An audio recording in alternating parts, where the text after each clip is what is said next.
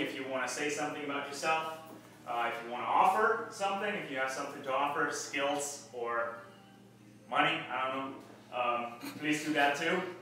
Um, and then we're going to have our keynote, which is about 30 minutes, followed by Q&A. And we're wrapping up, hanging out a little bit, and then we're heading over to the United Ale House, which is our newest sponsor for the Southwest Florida Tech Meetup. So they're going to give us happy hour pricing tonight again, um, sort of for the second time. Um, so really excited about that. The other sponsor is obviously the Rocket Lounge, which enables us to be here. So thanks for that. You're buying me beers. I bought them last week. Fair enough. so let's see, uh, just to get a feeling, who was here for the first time? All right, about 50%. That's pretty good. Very excited. Uh, thanks for coming out. Make sure you tell your friends if you like it. Um, them if you don't like it because they might. Who knows? Uh, we're getting a we're getting a pretty good mix of you know between entrepreneurial topics and uh, tech topics. Today we're like I would I would define it as tech topic, but it has a design twist to it or design point of view, I should say. Uh, so that should be interesting. And uh, next month's meetup actually, uh, let's see, let's see, who would consider themselves a all? Okay, all right, all right. Maybe the big loggers, creatives, uh, you know, artists, service providers, sorts of those sorts, investors. All right, I, I, I at least expect to see one hand. um, and entrepreneurs? All right, good, most of us. Excellent. So we grew steady. Um, we slowed down a little bit. I'm not quite sure why that is that month. People are in a holiday spirit maybe already, floating around, drinking a lot of eggnog. Um, not so much in, in, the startup mood. But thanks again. Um, it's for all of you, uh, which is why, why we started this. It's supposed to be a community of people, and the more we have, the better it is, which is also why I encourage you to just speak up in the 30 seconds, say what you, what you do, what you're in need of, and what you can offer. So next month's meetup, Peter Phelps over here agreed to, to give, give the keynote next month. Um, another completely different topic, but extremely important and exciting nonetheless, um, about where you get your money for your project, startup, company, whatever it might be. So definitely come out to that, and you probably don't want to miss that I can guarantee you at some point you will need money. so, with that being said, who wants to give a, give a shout out? Anyone? No? Come on. Yeah. Okay, so my name is Marius, Marius Young, for those who don't know me already. And this is my second time being here. We added ourselves, I think, in LinkedIn for, for some reason already. But my, my purpose for, being here is to get to know other people in the industry. We, I do digital marketing a lot. I have a, almost 20 years of background of software development. Uh, that's all about. so. I want to meet people. Thank you. I'll do my blur for, you know, preview for Sure. So, so my name is Peter Phelps, that was my picture, was up there before. So, um, Wayne introduced me in here, and I was here with him the other day, looking around, and, uh, I agreed to do the thing next, uh, next month. So basically my background is I'm a CPA and I have an MBA and I've, I've been in a lot of technology companies for the last 30 years, um, primarily as CFO of technology companies. So then um, a lot of them ended up in, in, in uh, transactions. We sold them or they, whatever, they, we sold them, they went under, they they went away, whatever, you know, whatever it was, something happened. So then, so recently I've just been helping a lot of technology companies, like helping them as kind of a contract CFO or helping them raise capital or helping them on the board, whatever makes sense, and just trying to uh, trying to use my experience to help um, companies get going. Since since my wife drove me down to Florida, I figured to down here where before I was living in Boston for many many years. And, uh, our meetup in Boston was uh, 3,200 people, but you know, so it's it's you know shows there's plenty of room for growth. So I'm just trying to kind of do that, try to help any way I can. So thank you Thank you so much. I'll see you next So I'll month. step in. See you next month. So I'm Andrew Delushko, I'm with M Drive, and I'm looking for a CFO. There you go, that's why I we're here, have a making shitload of connections. connections because. Perfect. What's drive? M Drive. So we are a uh, fleet analytics, uh, predictive analysis.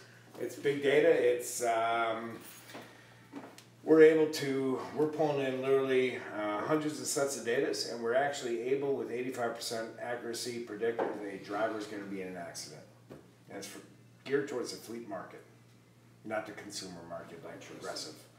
And we have an 85%. I actually know a guy that would be a perfect CFO for you, but he would never move down here. You don't have to. No, we're a 100% Okay, virtual company. Okay, we'll talk later. Yeah. We'll talk. So All right, so Thanks. that's exactly what I'm talking about, this right? is what it's all about. That's what, Really why we're here. Um, you know, I'm, I'm not putting on this show for myself, although I, I do thoroughly enjoy it. Um, but it's, it's for all of you. So uh, it has happened before. Connections are being made in meetups like that. I've seen it uh, before. I was in New Jersey before for a couple of years in meetups, and same there. You know, thousands of members. And sometimes you just give it a shout out, and you know, three days later you have a patent written for free by some other member. You know, you don't get that everywhere, right? So, um, short introduction again. Lee, uh, the very Lee over here, uh, has agreed to, to give us a little bit of his wisdom of game development and the art behind it. I am. I, I thought I thought it was very cool. Actually, we met at, at a art fair, I guess, um, to describe it that way, and he, he was selling his art there, and he's um, a fan of pixel art. Is it called pixel art? Yeah, Yeah. Uh, which, which I think is very cool uh, for, for those of you who, who try to get, uh, these days we can, or recently we can get the NES Classic Edition again. Um, I couldn't get my hands on one yet, but you know that sort of takes you a little bit back there as well. Um, hoping to get one as well soon. So I would say without further ado, I'll hand the stage to you.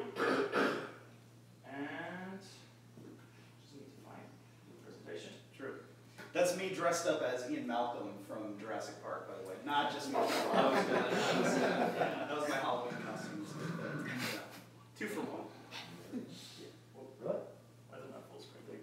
Should I- No, no, no. Alright, Cool. Well, thanks everybody for coming out. Um, I want to thank Sven for having this or putting it together and the Rocket Lounge for, for hosting it. Let's see if I can get my minutes up here. Sort of. Well, I think the same, same bit, right? Cool. The new scheme there, I think. Kind of cool. All right, uh, my name is Lee Bretschneider. I'm a multimedia artist. Um, this is from nothing to Nindie, an artist head first dive into indie game development. If you're wondering what Nindie is, that is short for Nintendo Indie Game. So it's a cute little term that was kind of buzzing around online last year. Uh, I was lead game artist on one. It's called Temple of Yog. It's actually my first time working on a video game and I thought I'd come share the experience with you guys and give you a look inside the world of indie game development and marketing. Um, it's not going to be too much of a tech, technical driven, uh, it's going to be more about workflow and, like I said, marketing, but I'd be happy to answer any technical questions you have at the Q&A. So uh, I'm going to give you a quick rundown on what the game is, and I'm going to try and play this trailer here. Do you know what direction I don't.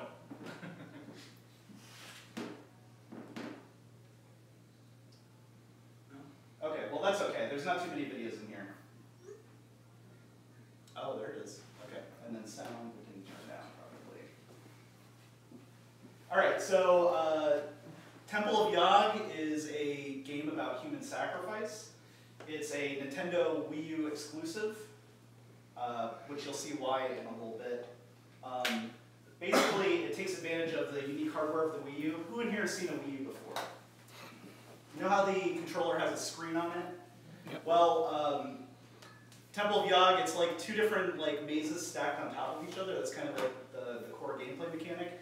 So you play on your TV, and then in order to get past the different mazes that are procedurally generated in the game, you have to teleport your character down onto the gamepad, back and forth. Uh, it's a retro roguelike twin stick shooter. That's like the full subgenre title. I'll break that down for you a little bit.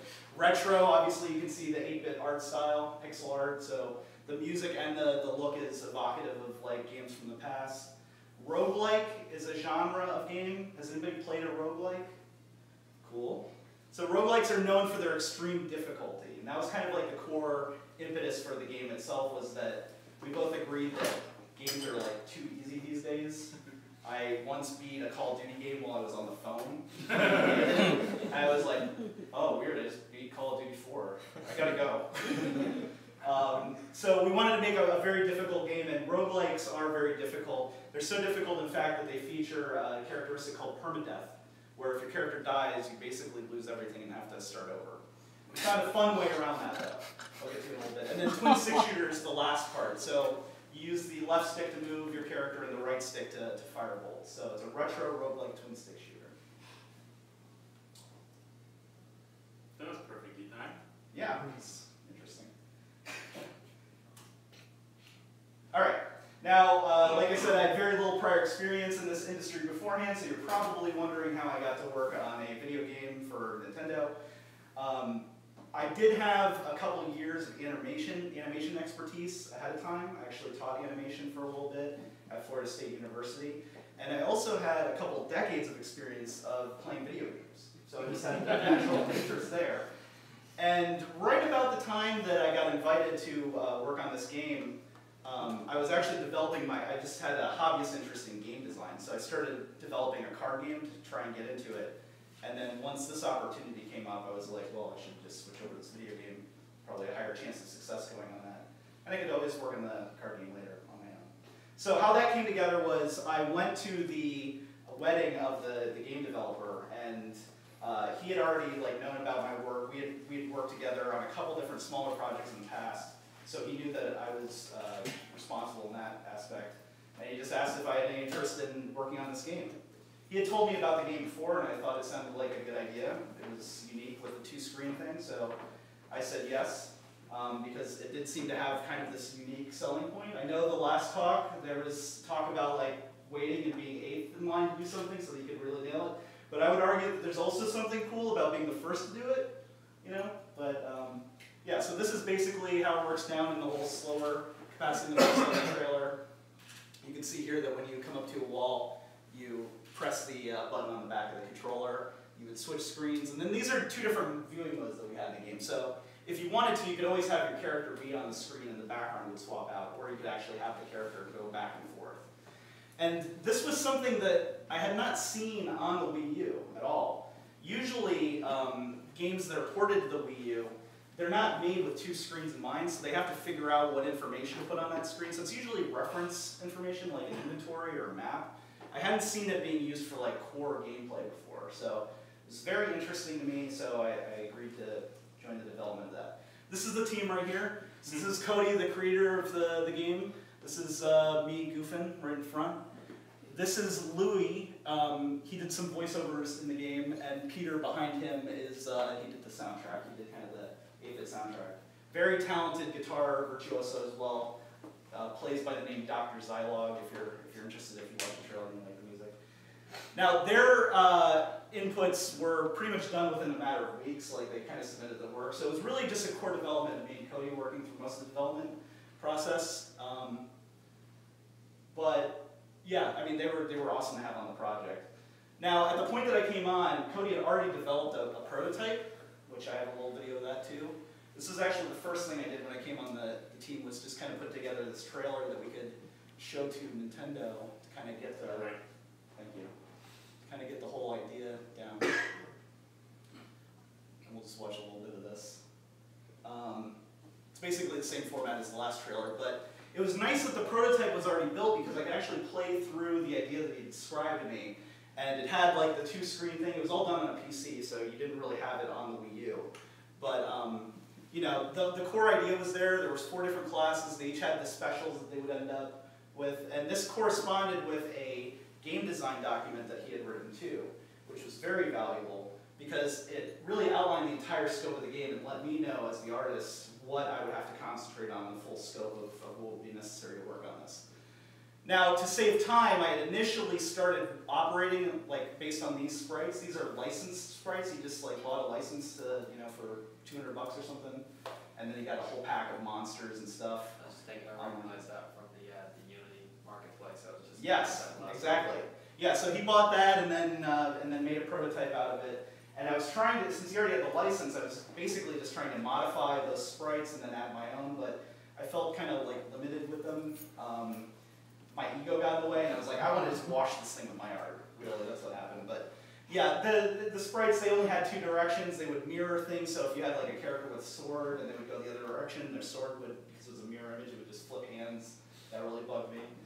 Anyway, I talked to Cody about increasing my level of work like eight times, and for some reason he agreed.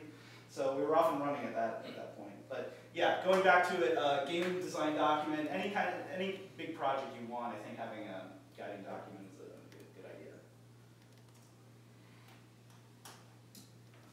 Okay, so uh, now I'm going to talk about working on the game a little bit in our, our workflow and our process.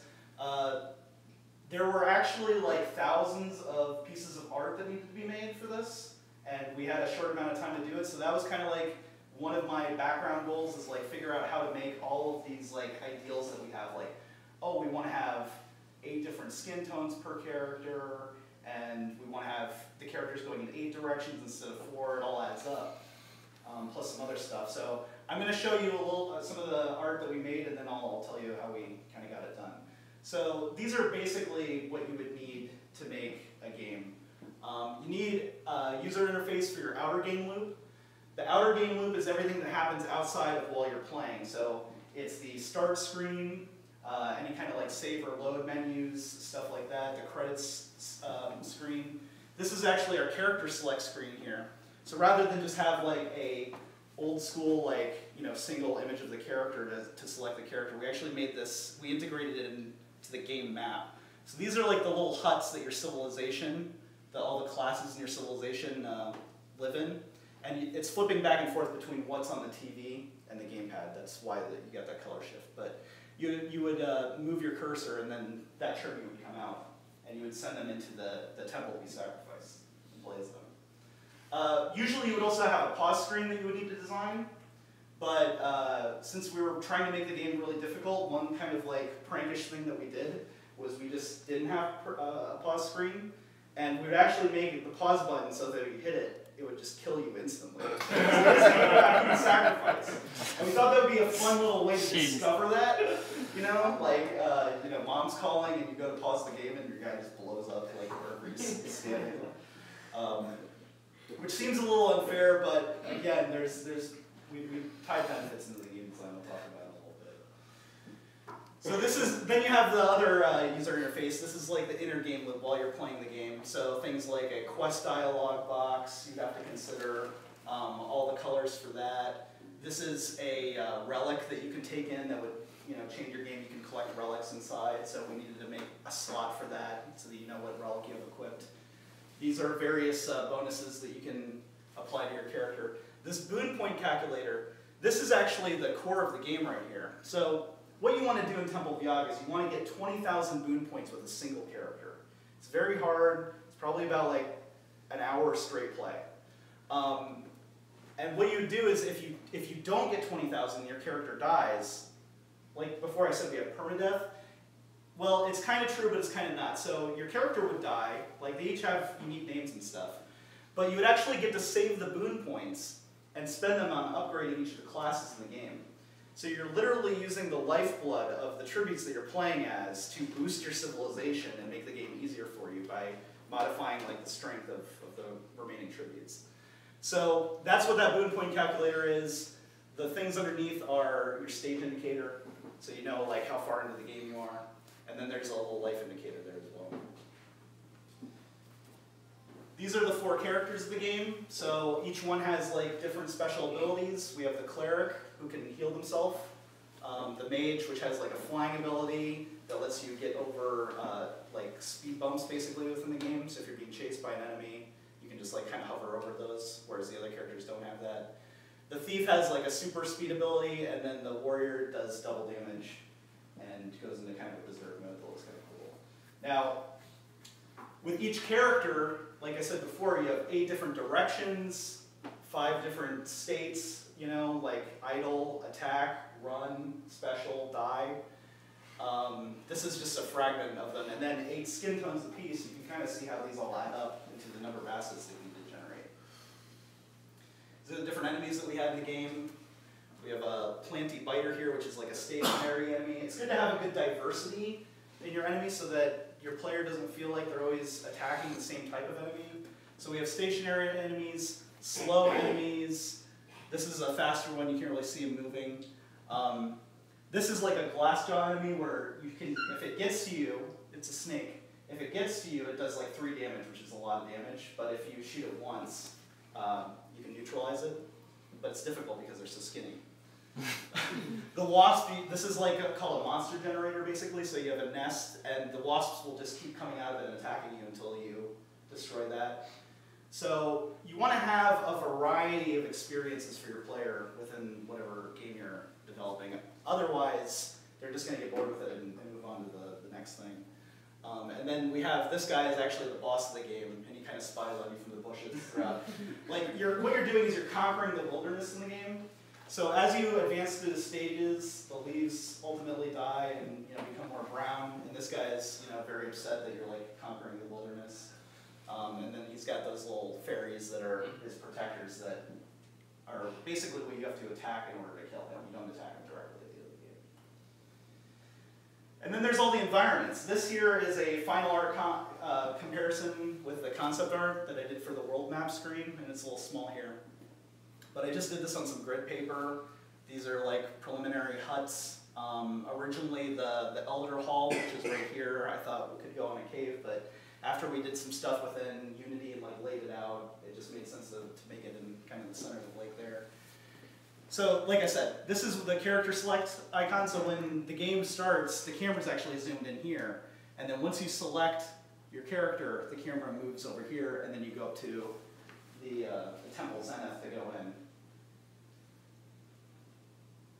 This is a preliminary version, early version of uh, that screen. You can see that, you know, is kind of, I just wanted to show this whole process.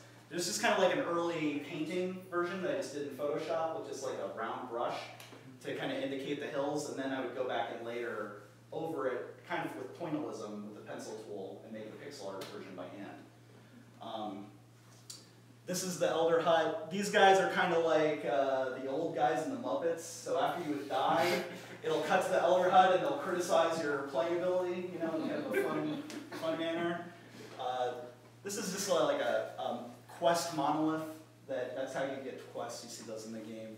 And then that's a uh, bonus room where if you find a rare enemy and kill it, it turns into a portal. And you can actually go in there and screw your civilization over by boosting that individual tribute. You sell the, the boon points ahead of time before dying. It's kind of like cheating death. Which is good if you're like close to winning. You know, then you're like, okay, I can gamble and like use my boon points now and make this guy super strong and try and actually win. And then this is the Temple Zenith, uh, where you would actually go into the world to, to play the game. And this is where all the relics are hanging out once you discover them. So, variety of objects. This is, uh, yeah, this is the boss area. So he would summon enemies in all those summoning circles to attack you. So you're trying to kill those fairies, you're trying to shoot them. They're very small. You've got all the enemies that you've already fought now coming at you. Uh, if you're interested in uh, good learning game design, I'm going to recommend a YouTube video by this guy Egoraptor. It's totally silly. But Mega Man X, he breaks down how Mega Man X teaches you how to play without giving you any dialogue. you like press B to do this. You just like learn how to play the game by playing it. And that is in and of itself kind of a retro technique. Nowadays, like in Call of Duty, they just want to kind of they want to make sure you get through the game because they spent millions and millions of dollars on this thing, so they don't want it to be too hard, and then the reviews come out and say this game is like unplayable. We didn't really care about that. We wanted people to say that. We actually got some joy out of some reviews that were like, you know, criticizing the difficulty. It's like, so these are some environments, um, and you can see with all of these things being animated, it can add up to thousands of frames of animation. This is just the warrior's death right here. Um, and that's like a little screenshot of what it looks like in Photoshop, how I like kind of preview the animations. How it would work is basically I would send the artwork to Cody, the developer, and then I would give him notes and maybe like a little screenshot like this is the timing of the animation, and then he would uh, integrate that within Unity to, to make the game. So uh, yeah, with all of those assets, it, it seems like it could be insurmountable for one person do it all, but it can be done. Um, so this is how we did it. we basically made sure that we had regular product or project meetings, which some weeks, if it was a busy week, we would have them multiple times a day. Or if it was like slower and we knew exactly where we were going, we would say like, all right, let's just meet next week.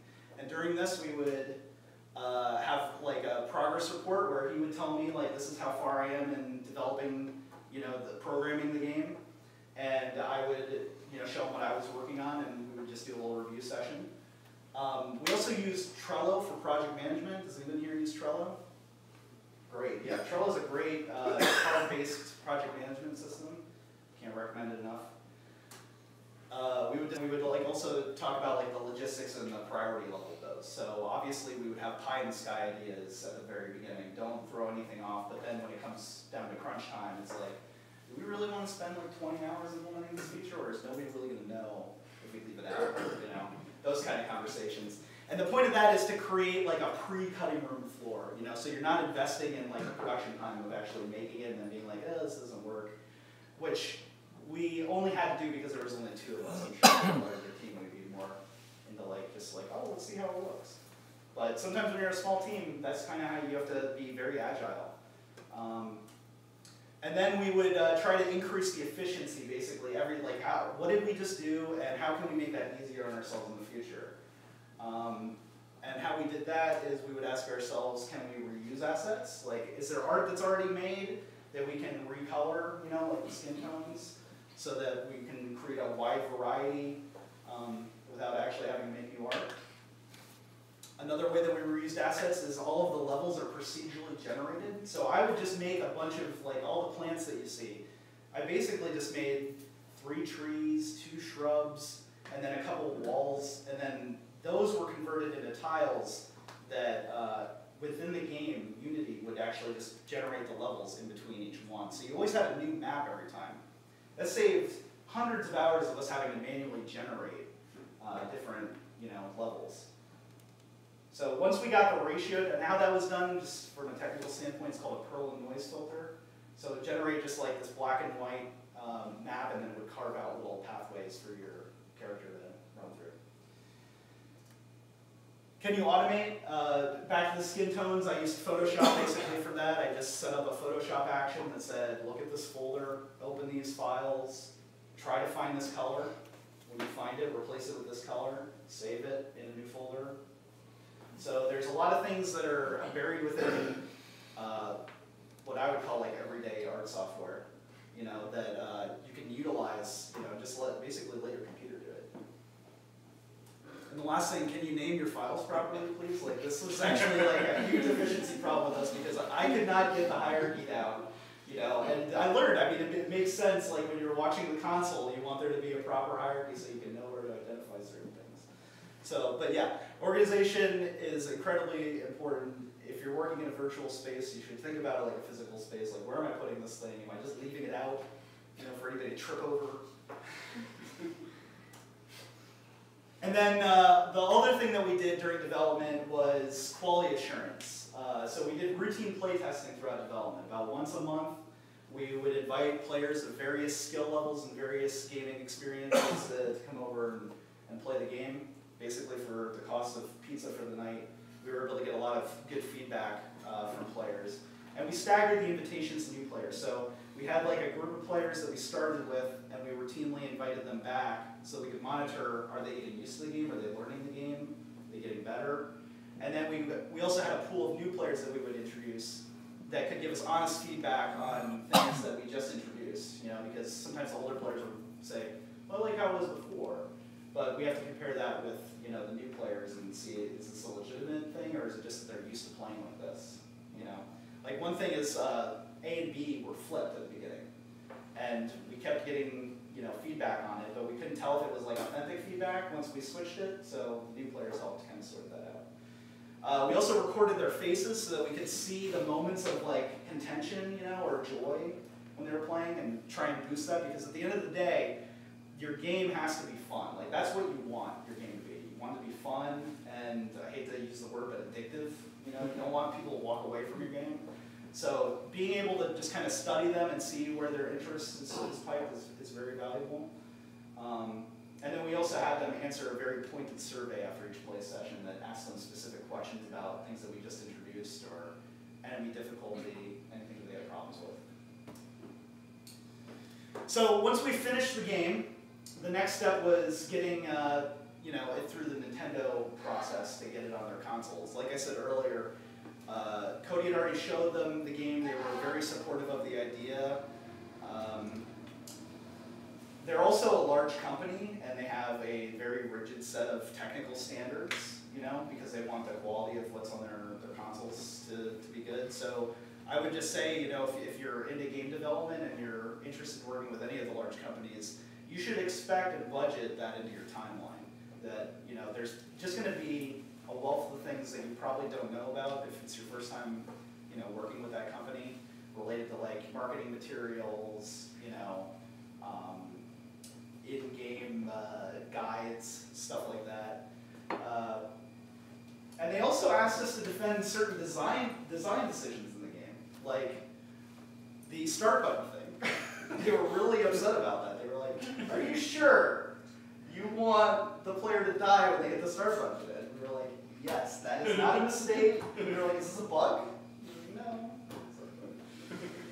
So yeah, this was the this was the phase of the project where we hit most of our setbacks, but they were very supportive and the game, honestly, the game quality was brought up because of uh, some of their criticism, so I, I can't really knock them on it about it too much. Um, all right, so the game is out. Now what? Now we have to think about how to market it. And if you haven't caught on by now, like we're a very DIY oriented group. Like we didn't really go to a lot of outside help for a lot of things, and, and we have the same exact approach with our marketing as well. So we had uh, we started things off with two launch parties for the game. We had one in Cape Coral Nice Guys Pizza, and then one in Tallahassee where Cody lives at Fire Betty's. And then uh, we tried to do like this kind of like cross-party uh, competition type thing where we're giving out prizes based on high scores. It's pretty fun. Um, we took the game on tour. So these are all the cities that we took. Now you'll, you'll see that this is in February. We actually launched the game in December of last year. Um, we took the game on tour before we even did any other play testing. We wanted to, A, get like total strangers to play the game first before our friends or anybody that we know so that we, we knew we were getting like honest feedback. And B, we were hoping that this would be such an out there concept, you know, that we would pick up some press. And we did some interviews with like uh, niche press, like uh, Nintendo enthusiasts gave us like a really cool interview. They came out to our Toronto show and did a video interview with us for their YouTube channel. Um, and then the reason I put this budget in here is just so you can see that the total cost of this entire tour was $3,600, which is the equivalent of going to a large gaming convention like the Penny Arcade Expo or E3. So it was kind of like, do we want to go to one convention or do we want to like do this kind of like old school Nintendo style Power to the Players tour that they would do when they like released new consoles and stuff and hit up all of these different locations. And we had a wide variety of experiences. We hit retail spaces. That was actually an addition. Like we were just anytime we would go to a new town, we would get on Twitter and see where the gaming stores were and see we could set up there for a little bit. So I was at a mall in uh, Boston.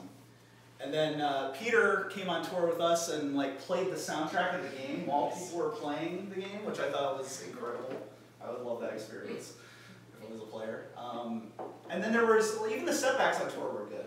Like Baltimore, this was during the week, it was like the worst snowstorm in history. I don't know if you guys remember this in, in 2014, but our Baltimore show actually got canceled because uh, they didn't want people driving in it. Like the snowstorm had just hit. So we were shacked up in a hotel, and that's, we actually worked on development of the game at the hotel, and that's when we had all the voiceovers and stuff like that. So it kind of worked out to our advantage. Do you have an ROI for that? Was that? Do you have an ROI for that tour? Uh, I don't personally, just as the artist, but, But yeah. you figured it out, I'm assuming, like, because that would be interesting to see, you know, like, thirty-six hundred, because that's reasonable, right? Yeah, And then you have, like, I don't know, ten thousand downloads because of that or something. right, yeah. I don't, I don't know what the exact equation is, but he said it was a profitable enterprise, so, yeah. it's good enough. Um, we also submitted it to festivals, so this is Orlando IX. This is some print matter that we, we gave out that kind of shows like the uh, relationship between the, the gamepad and, and the TV, and I, I kind of designed that to look like old school NES uh, comic book advertisements, you know. Um, these are some players that we had here. We actually won runner-up fan favorite at Orlando X, and we only lost to Sword, uh, um, Sword Coast Legends, which is an officially licensed Dungeons and Dragons game. So I don't feel too bad about it. because, and they also have like a, a development team of hundreds. So I feel like we brought it pretty well there. Um, we also got invited out to Indiecade. I'll do a little time lapse here so you can see this. Indiecade is like kind of the, the Sundance of, of video games. So you have to be invited to show there. So we were an official selection. We're also the only game that was on a Nintendo platform that was invited that year. Um, that was good. We scheduled interviews with the press while we were there. Um, we got some previews written about the game, like press members got to play it for the first time, and uh, network with other developers. So this is uh, somebody playing the game there. You can see that we got some swag down there as well.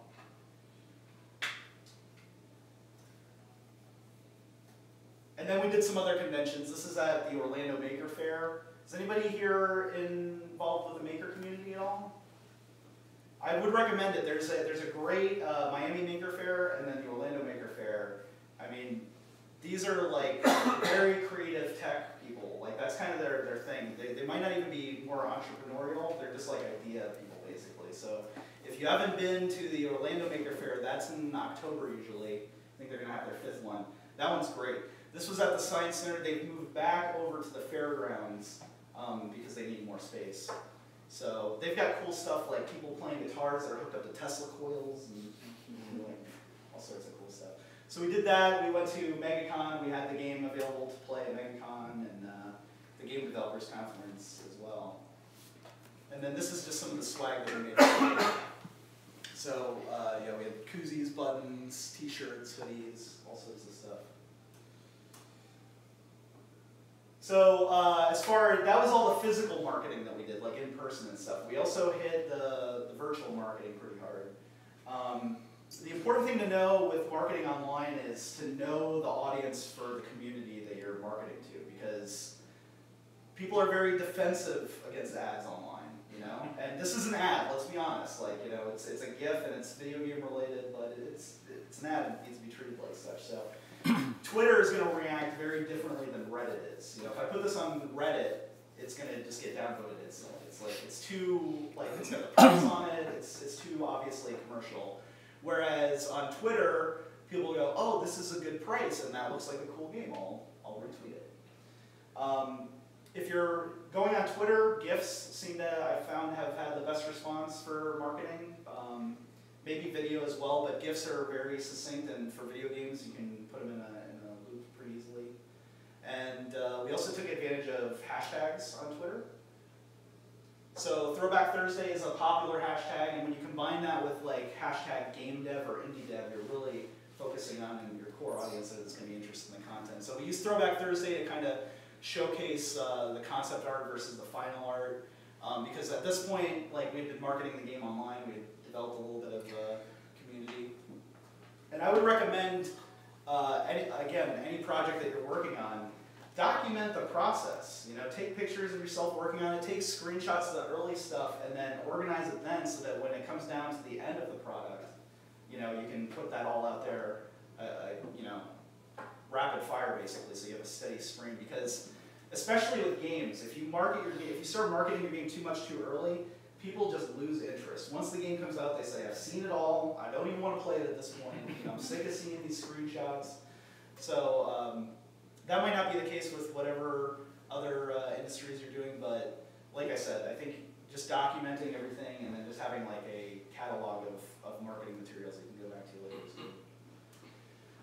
We also created our own uh, hashtags, so Tome Tuesday was one that we made, and it's called Tome Tuesday because when you die in the game, your character's name gets logged in a tome of tributes, which is basically your score screen. You can also go back and look at them later, so if you want to memorialize the tributes individually, you can do that. You can kind of see in the background here, you get like a kill count, the boon points that you earned, and the time. So what we would do is uh, we would say, hey, post screenshots from your tome of your best run, and then we'll collect them, and, and we'll tag you in it, and you know, at the end of the week. So this was like a little campaign that we did when we first launched. And we also combined that with Miiverse Monday, which was a similar idea, except we were taking our favorite Miiverse content um, from the week and, and promoting it. Now, what's Miiverse? Miiverse is a place on Nintendo's platform where players can talk exclusively about your game. So you would have like, there's a message board component here where you, know, you can share tips or try and figure some stuff out. And then you can also do some silly stuff like post drawings and stuff like that. And that was, I mean, as an artist, that's like heartwarming. It's like to see fan art or like, I guess, satirical art of your game. It's just like, oh man, like I did that when I was a kid. It's great. That Uh, wasn't bad though. What? That wasn't bad. At least. Dad, yeah. Well, yeah, that was my dad, no. no, that would be too heartwarming. Uh, yeah, and uh, we kept the development blog on Tumblr, which is a great platform for Wii U players, and you know, it's, it makes sharing the content very easy, reblogging it.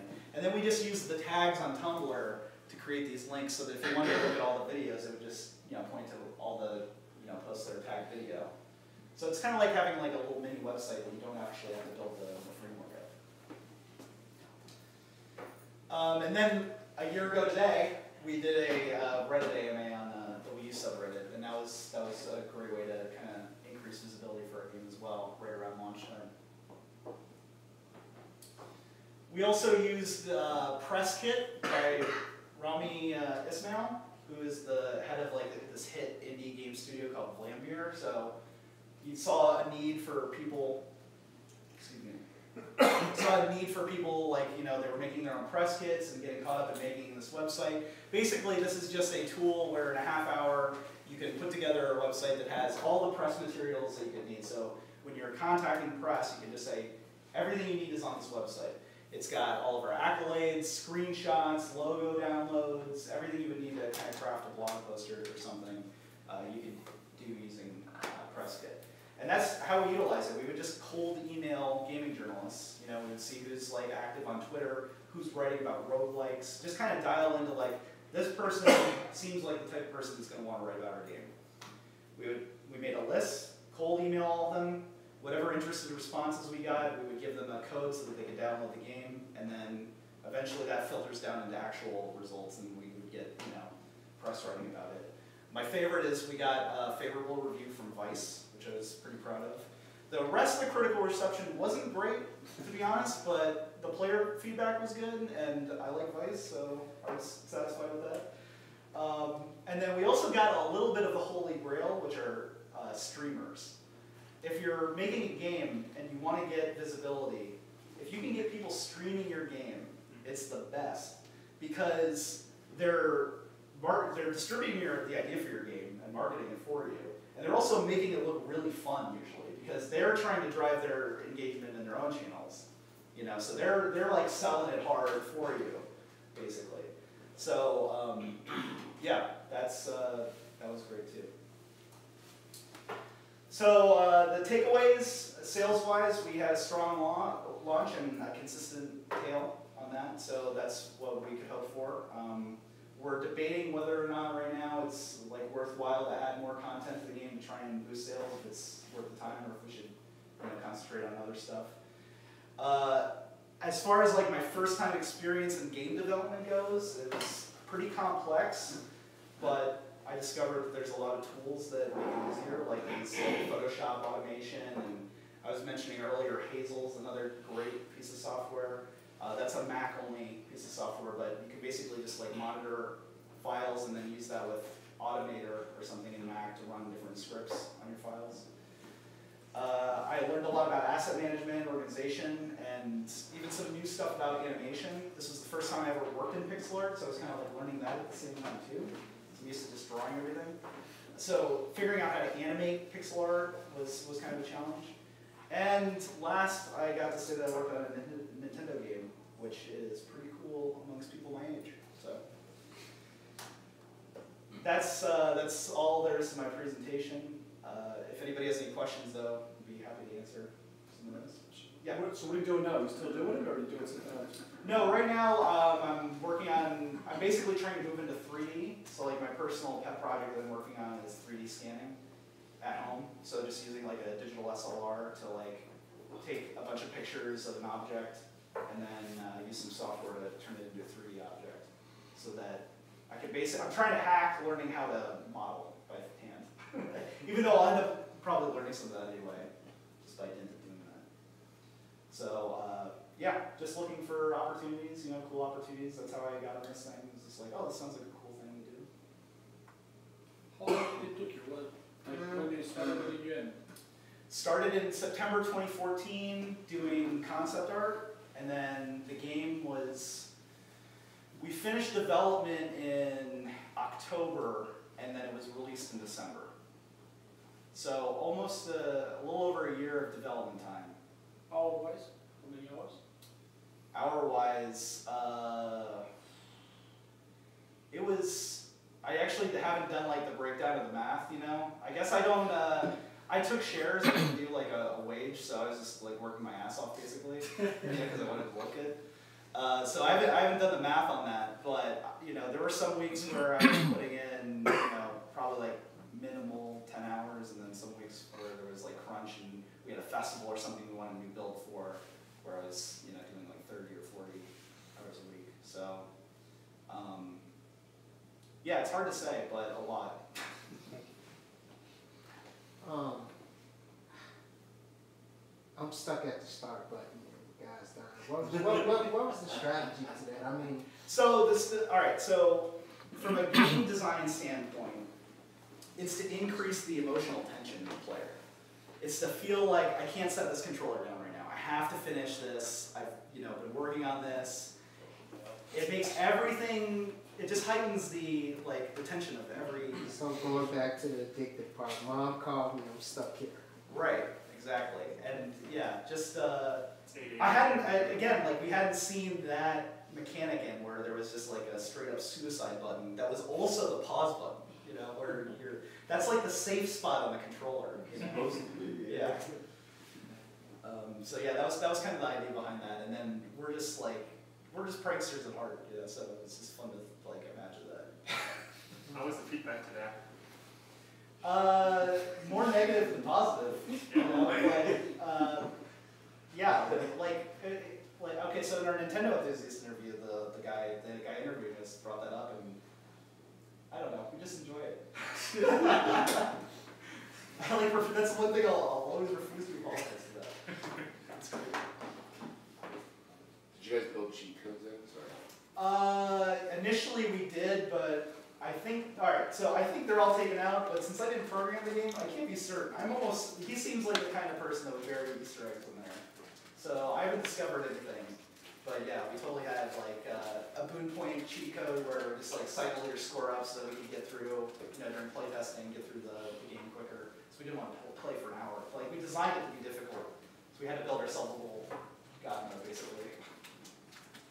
Uh, yeah, how long did it take, uh, the process of going through Nintendo and getting accepted and that kind of stuff?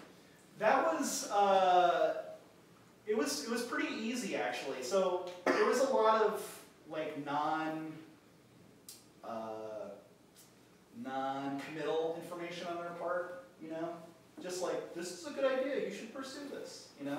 And they had uh, they had at the time the new development portal is actually a, lot more accessible than the one that we did. And the one that we did was pretty accessible. You basically just apply. You say this is my game idea.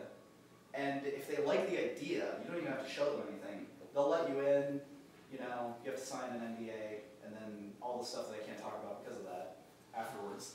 But yeah, very accessible. They're probably like the easiest entry point to indie game development outside of like mobile, you know, as far as like consoles go. But Sony is very indie friendly, and uh, I don't know any indie, develop, indie developers that prefer Xbox, but they all go on anyway because why not? You know, if you're developing for Sony, it's just you know a couple different clicks on your export if you're in indie. so yeah, it was uh, it was just one of those things where they just followed us throughout the year. We just kept in contact with them. We went out to GDC. We scheduled a, a meeting with them just to kind of do a, a status update and see uh, if we were going to, you know, work with them on marketing or anything. But that was way outside of their scope for us, I think. So Thank you. yes. So we work with um, a French company, and uh, they worked with game developers. Mhm. And basically, what they did is um, is created these algorithms so that the the gamer loyalty uh, never faded or actually increased because there were certain frustration levels beyond which they just dropped the game. Right. So, so basically, these guys figured out those kinds of ways where somehow you got a additional little help so that you you get a little bit because when you try a level, you know, 40, 50 times or more, Right. and there was a certain point of frustration which Yeah. which you're just not gonna go beyond. Right. So these guys were created those kind of algorithms where uh, that loyalty never faded, but just helped them through Yeah, and then next level. It's a delicate balance, and we, we were totally algorithmless. Mhm. Okay. we were without algorithm. So yeah, that's where we, we just re- relied on like the raw player feedback, you know. But did you experience that kind of uh, that it's, it was way too difficult that people just dropped the game because it was way too difficult? We never got we never got any direct feedback like emails, or at least I didn't see anything that was Mhm. like asking for a refund because the game was too difficult or anything like that. Not not necessarily Yeah. refund, but but how many people you know the the how many people actually stuck with the game over you know extended amount of time? Yeah, I um I, I don't have access to those metrics, and I don't know if I don't I don't even I, I'm not certain we could get that um, based on uh, the analytics that we get from the, the gameplay. We get sales analytics and Mhm. stuff like that, but as far as like hours played, um, I don't think we have that. We just have to rely on like whatever feedback we get through text, like if it was on Miiverse or something. Sometimes this interesting thing is. Um, we also modeled the game to be more like those old school games, so we didn't like really hold their hand through it. Like when you when you fight the boss, you don't know that. Alright, so once you kill all the boss's fairies, he like erupts into flames and becomes. You might have seen the giant flaming head like shooting fireballs, and we never say you can't kill this thing. Like it just chases you around until it kills you. And when we were when we brought to a festival, we watched this guy like try to kill this thing for like 10 minutes. He was just perfectly evading it so that it never killed him, even though that's what it's trying to do. Because the game is about human sacrifice, so even if you win, he didn't realize that like if you just die, you, you win. You know? So there's moments like that that are interesting, and sometimes we would get something on Miiverse where it's like, can you kill the boss? And it's like, just die.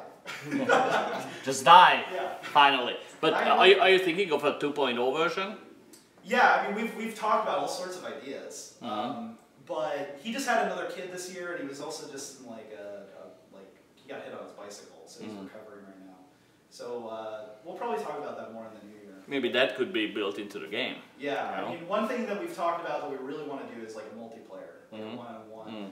multiplayer where you go into the dungeon and it's your tribute versus somebody else's tribute, and you Mm. might have all the benefits from your personal game.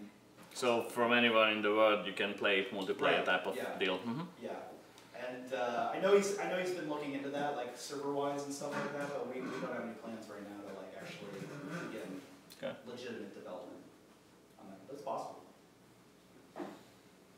I'd like to go back and like work on that card game that I was working on again. That's kind of my next personal goal. But if he comes back and says, "Let's do it," you know. What's the card game about?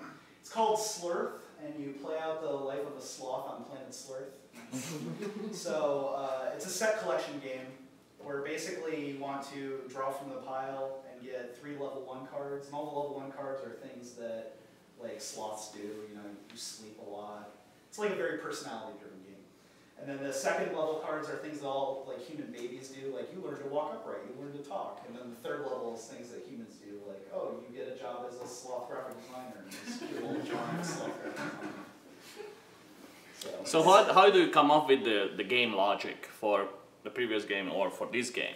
What is are you are you the only one who is figuring out the game logic, or there are others who, who yeah. play uh, or So- work with you? So he had already built that prototype, so the core game loops were already designed, and then uh, we would just kind of spitball ideas off of each other, you know, and anything that like landed with both of us, he would actually like program. So like, right, let's let's. Okay, so for that one there was already a game logic developed. Yes. But but otherwise, for this one, you are the one who is actually creating the game logic. Right. So, so yeah, my whole process with that was, uh, I wanted to make a like a card game that would be like under ten dollar price point, like that. So very, and very simple to play. So you Mhm. could like take it to a bar if you wanted, you know, and you'd only have like nine cards in front of you. It wasn't like a complex European style game.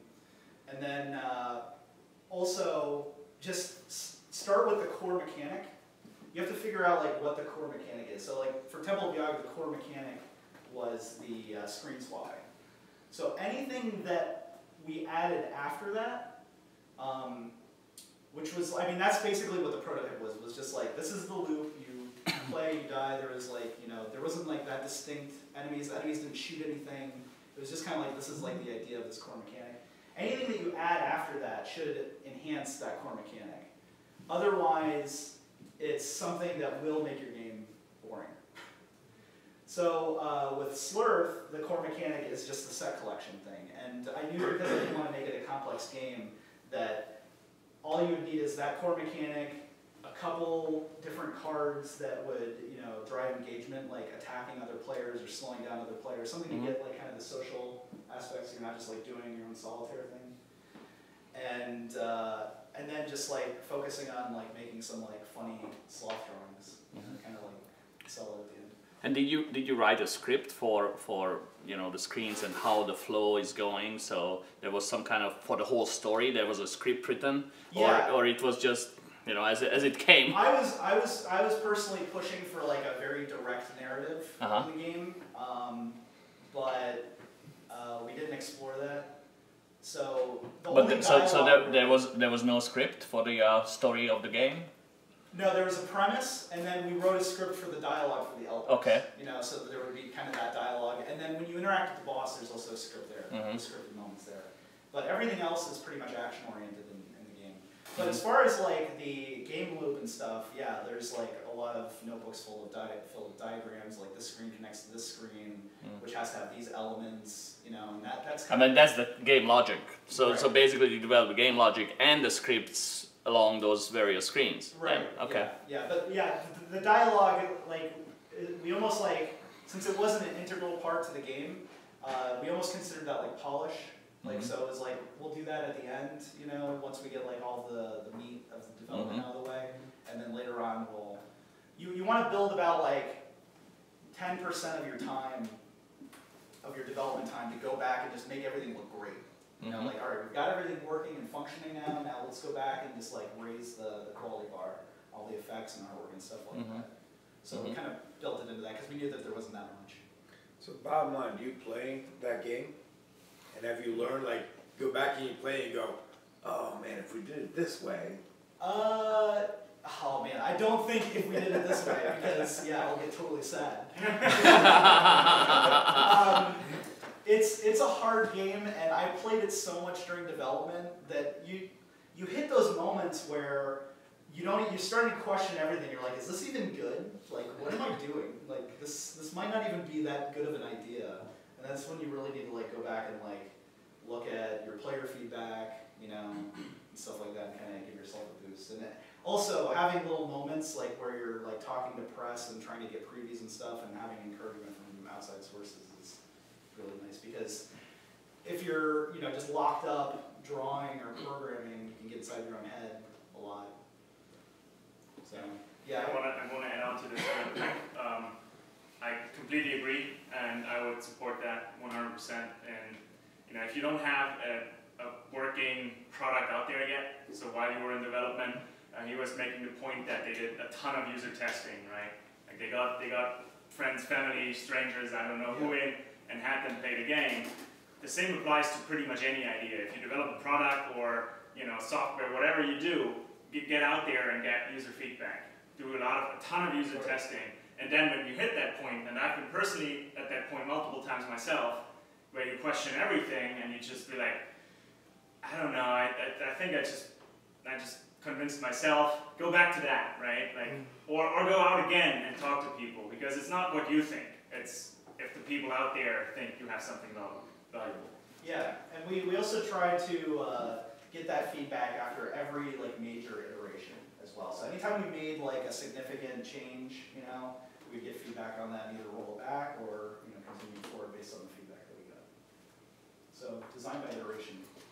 There's, some, there's something that we do on, Git, uh, web applications that is called user stories, where you start everything from that, like just you put yourself as what a user would want, and then you get the other person to say, what would you like as a user before you even start building anything.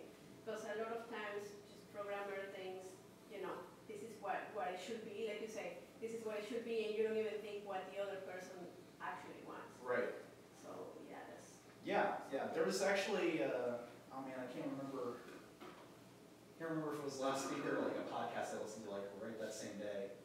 But they were talking about, um, basically designing to your specific users, not to your average user. And that there's, because you're gonna get the average user anyway. It's kind of like the idea of designing towards accessibility, you know? Actually with this game, so the blue, the whole blue thing, you know, on that, that second screen, that was like an artistic nightmare because I actually, I've got like friends that I play video games with that are colorblind, and some games that we play, it's like they have to be player two because if they're player three, their player indicator will match the color of the football pitch, you know, and then they can't see their character, so they're totally useless. So I thought about Joe when I was working on this game, you know, like how is Joe going to see it? Luckily, Photoshop again has like a color blindness couple color blindness filters that you can pop on and off to see that. But using that and then thinking about the two different color spaces at the same time, so that everything like the the UI is you know available to colorblind players that are looking at the TV or at the screen of multiple types. Photoshop actually made it very easy to check for that just by like turning on like you know a couple layers and, and options. So and actually, I wrote a, an essay about that and put it on to this industry blog, Gamasutra. And uh, it circulated among the accessibility community. We picked up some fans because I wrote this article, so it, it does make a difference. That's, I believe that article is on the meetup. Yeah, it is, yeah. You can, You're can read about that. It's all about how it's got comparisons. It shows the Photoshop filter, turning it on and off, a simulation of colorblind players. So. That's cool. Would you call it a success? Yeah, How many copies have you sold? I can't talk about it. How you measure success? Well, I can't talk about it. I mean, I know. But he knows. If it's a strong launch, Some- Someone coming now today here, looking at you and, okay, a year of investment, time, money, whatever it is, does it make? I, for me, no, based on my share total, but the game itself did well, yeah. The game itself was a success. So Nin- Nintendo is happy. So- yes. I don't know, maybe he undervalued I'm, I'm, himself. I'm happy enough. It's, it's, it's, uh, I didn't, you know, I took the shares and I invested a lot of personal time in it. Yeah. You know, um, but I do feel like I got advantages outside of like monetary success from it, so. yeah. So that's what you measure. Right. Yeah, yeah. Did the licensing and going to merchandising for the, the, the Yeah, that was part of my deal too, is that I am like the sole merchandiser of, like, yeah. that's So really any, funny, any, yeah. um, you know, five ninety-nine Hoodies, t-shirts. for the Nice. sale of the game, yeah, but, you know, that little knick-knack keychain thing, I mean, that's, you know, five ninety-nine a clip on. I mean, I'm all for it. Right. That's, that's the moneymaker right Kids there. love swag. They sure do. That's for sure. Nintendo doesn't get anything from that, no? What's that? Nintendo doesn't get anything. No, no, so Nintendo, like, uh, the game is owned independently, and Nintendo licenses the game to sell on their system. So they have no interaction with merchandise. So you have your own e-commerce and all. Right. Yep, yeah, it's actually... The use of their logo or anything like that comes with uh, any, I don't know, monetary cost?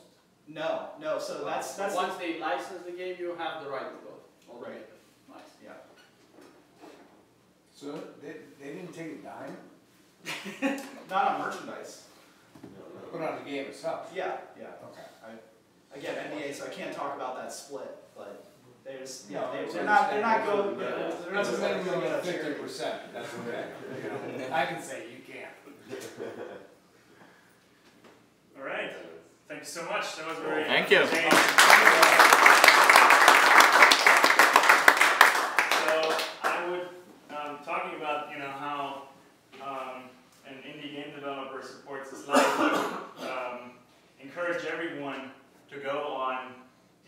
adventure company, Adventuringcompany.com. adventuringcompany.com, and I buy forgot a my hoodie cards. or a keychain, you know, something. Uh, Yeah, there's tons of original art on there as well. Like if you're into like art history, or I do a lot of Dungeons and Dragons related art as well. um, where is it? I mean, that's the last slide anyway, so. Um, yeah, thanks for coming out. That, that's pretty much it. You're welcome to hang out a couple of minutes here. Um, Peter will kick us out eventually. Uh, uh, but then we're gonna go Enjoy. to the United Ale House. As I was mentioning before, they're gonna cut us a happy hour pricing deal again. And if you do wanna come out, then see me because we have those nifty little tickets which show them who you are. Great. And then I will wrap it up with saying thanks for coming, and if you have any questions, feel free to reach out. Um, you know, if I don't have the answer, I'm, I'm happy to make a connection with someone else in the group who might have the answer. That's what it's all about. Great. Great job. Excellent. Thank you. Thank you. Up to the bar? Sven, Up to the bar? Sven.